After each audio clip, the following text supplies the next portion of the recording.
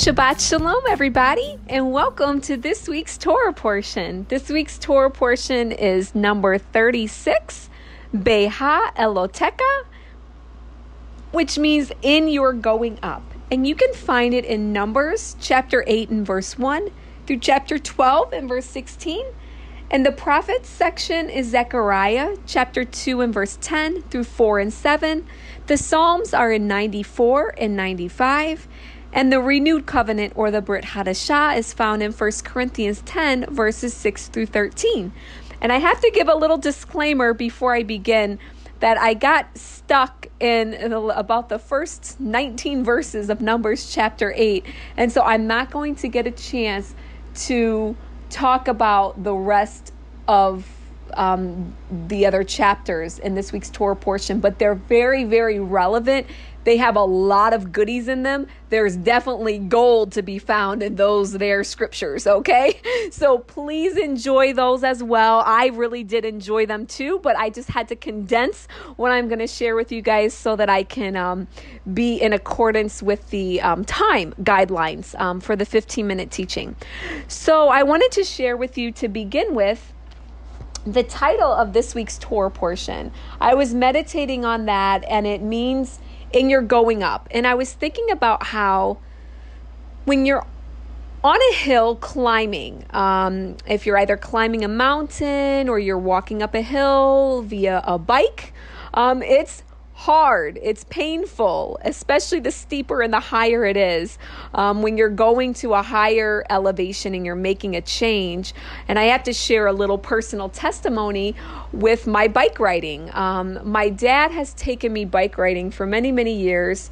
And in the beginning, it was very, very difficult. And this one hill still is very difficult for me. Um, I still struggle to get up it. I will say that throughout the years, I've built up endurance and it's become easier for me to climb. However, it is not easy. The hill to me is a little monster, and uh, all the time, I, don't ever know which way we're always going to go, which route we're going to take. Um, I and you can just get all kinds of spiritual things out of this because I do but I don't always know the path that we're going to take and you know I just follow I just follow my dad and we ride and he takes me where he wants to go. So uh, a lot of times the hill comes up upon me uh, surprisingly um, because I don't know which path we're, we're going that day, you know, or that evening. And sometimes it's really hot outside if it's in the summertime, and going up this hill is not the most pleasant experience, let me tell you. The majority of the bike ride is awesome. Um, you know, you've got the wind blowing and you're going through some pretty scenery, but this hill, man, is a little monster and it takes a lot out of me. In for a long time i used to walk my bike up this hill. Um, but i i got to the point where i just struggled and i pressed through and i made it riding up the hill. I might not go up as fast as my dad does but i make it up there. And a lot of times we'll end up having a little treat a reward so to speak. After we climb this hill, we'll end up riding to an ice cream shop around the corner and having a little treat before we go um, and finish our bike ride back home. And I, I share that story because in this life, we're on this journey to become clean priests, okay? The Bible says God has made us kings and priests. Um, we are going on this journey to become clean priests with God and to rule and reign with Him, to be in this elevated state of ecstasy, to be with Him for eternity but the journey there is not always going to be pleasant. There are going to be some pleasant moments, and there are going to be some really tough, unpleasant moments. But it's all working for us, this far greater weight of glory that's upcoming for the future for us. And we've got this reward to look forward to. Amen. Amen. And it brings me to the scripture found in Numbers chapter 8. And I want to flow to verse 6. And it says, Take the Levites. Everybody say, I am a Levite. I am a Levite from among the children of Israel and cleanse them. That word Levite means joined to. Um, Levi was one of Jacob's sons born, and his name means joined to. So Levite joined to. We are to be joined to the Lord, just like Ruth clave unto Naomi. She was joined unto her. She cleaved unto her. That's how, how we are to be to God on this walk. Amen. And that word cleanse, found in Numbers chapter 8 and verse 6, that's the Hebrew word taher, which means to be bright, to be pure, to be physically sound, to be clear, unadulterated, uncontaminated, morally innocent, purged, purified, clean, to be clean. I just want you to rest in that for a moment. Through the blood and the power of Messiah Yeshua, this is who we are. It's a done deal. This is who we are. We're now clothing Yeshua.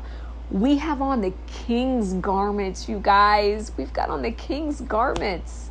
We're wearing him. Too much. I, I have to stop there. Let me go back to which I want to bring this these two verses out. This is not part of this week's Torah portion, but it relates to it in these scriptures and these passages that I'm reading. So I wanted to bring it out. It's found in Revelation chapter 1, verses 5 and 6. And bear with me one moment while I pull it up. So when you look at um, Revelation chapter 1 and verse 5 and 6, it says, And from Jesus Christ, Yeshua the Messiah, who is the faithful witness and the first begotten of the dead and the prince of the kings of the earth, unto him that loved us, everybody say, I am loved, hallelujah. I am loved by the Maker, by the King of Kings, by the Son of God, by my victorious hero. I am loved by Yeshua, and it is through his blood. Amen. And the Prince of the Kings of the earth, unto him that loved us and washed us from our sins in his own blood. Everyone say, Hallelujah. Thank you, Yeshua. Thank you, Jesus. I am Taher. I am washed. I am cleansed. Hallelujah. Thank you, O Lord, for the blood of Yeshua makes us righteous and clothes us with king's garments. In verse 6, it says, And has made us kings and priests unto God and his Father. To him be glory and dominion forever and ever. Amen.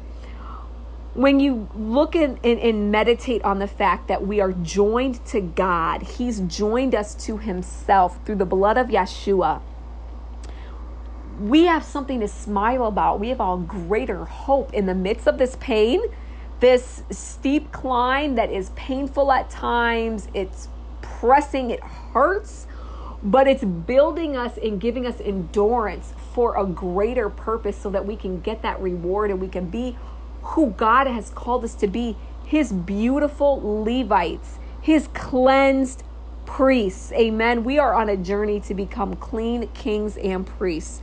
Amen and amen. Hallelujah. It just makes me want to jump and sing and shout hallelujah. Thank you, Yeshua. Thankfully, I'm sitting down and I'm not jumping up and standing because we'll be here and I'll be way over my teaching and I'll have to stop it and redo it all over again because of my little praise break. Thank you, Jesus. Hallelujah.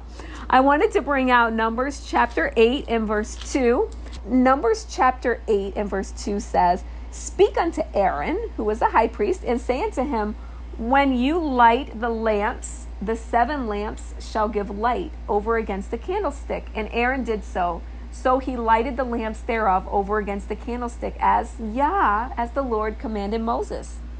And when you think about that, we are a light, we are a lamp, a light for God, and we are a light for his people because this menorah was to light the house of God, and we are to enlighten the house of God. When you look at Numbers chapter 8 and verse 19, it says, And I have given the Levites as a gift to Aaron and to his sons.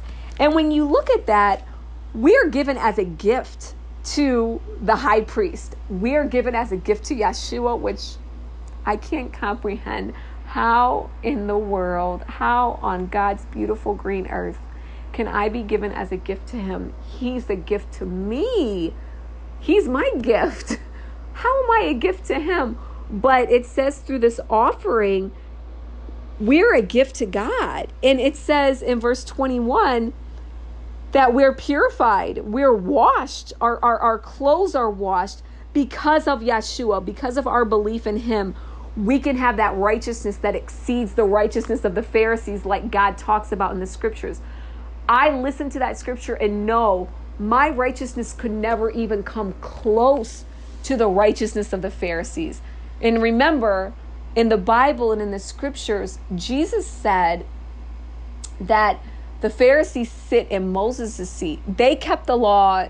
They taught, I will say, they taught the law perfectly. He said, do what they say, not as they do, because their hearts were messed up.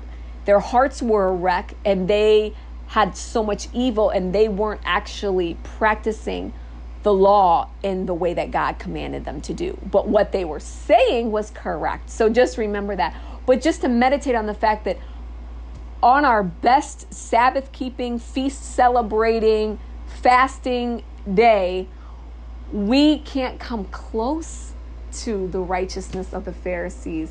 So much more so, the only way we can inherit the kingdom of God is by having our garments cleansed and us being clothed in Yeshua, knowing that. And I'm going to say this after coming into the Torah and walking closer with God and keeping his commandments in this past over decade of my life, I have come to realize and know the blood of Yeshua, the blood of Jesus Christ, that I need it so much more so, even in a closer commandment keeping walk than ever before, because you horribly fail even if you don't realize it on your best day. But that's where Yeshua's blood comes in. The blood of Yeshua cleanses us, He uncontaminates us, He makes us morally innocent, He makes us purified, He calls us Taher, He makes us bright, He makes us this menorah. That to me is so humbling that I can be this and be a gift to him because he's my gift. But again, that's the two become one. We're joined in him. We're that we're that joined together being, which is a Levite. That's who a true Levite is, and that's who we are to be, is that amazing, beautiful Levite unto the Lord. Amen. And I wanted to turn to Zechariah. If you flip to Zechariah with me, this is part of the Haftarah, the prophet section. I wanted to read how we are supposed to sing and rejoice in 2 and verse 10 of Zechariah because God's going to dwell with us. Amen. Hallelujah. It says that He's going to inherit us as His portion, He's going to choose us. That means we're wanted, that means we're treasured by God. This is how things are going to be. And then you've got the picture of Joshua, the high priest, standing before the angel of Yah, and Satan's on his right hand. So here's your accuser Here's the evil one. And it says, Is this not a brand plucked out of the fire? Yah has chosen you. This is us. We're going through fire. Fire is hot. Fire is painful. I just recently burned my little two fingers and a little part of my wrist on some steam. I was steaming, steaming some spinach the other day and I had a pot holder and I lifted it up and the steam was just under pressure and it poured out and it went up to my fingers and man that hurt. It was painful. I was running cold water under my hand you know yeshua thank god he healed me graciously and compassionately. I put some aloe vera on there you know and i'm thankful to god he, he healed me. But that was painful for just that little teeny bit of time. That was painful. That hurt. Just remember that's what we're going through. We're going through fire. But sing your way through it. Like the scripture says in verse 10 of chapter 2 in Zechariah sing and rejoice. Hallelujah.